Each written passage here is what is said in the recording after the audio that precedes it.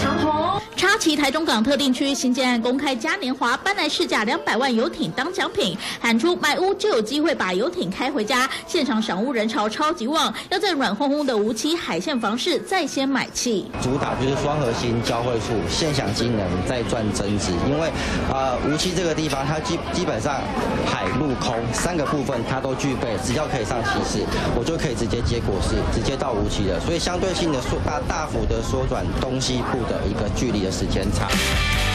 不只有三井奥莱进驻加码二期，为台中港二点零计划添亮点。狭带海陆空双港临近文化路商圈和蓝线捷运加持，高投报率和增值空间都吸引不少在地客和制产客关注。西海岸好的工业区非常非常的多，目前我们做起来的话，就业人口大概十六万多，将近十七万。那因为这个地方目前来说还是属于低总价的市场，所以换算回来投报率、租金投报率大概都可以到三趴到四趴左右。台中港特定区是台中仅存房价一字头区域，随着近年来海线崛起，也吸引不少知名建商抢卡位。交通建设优势加上房价起涨点利多，也为无期市政中心再度金。三选综合报道。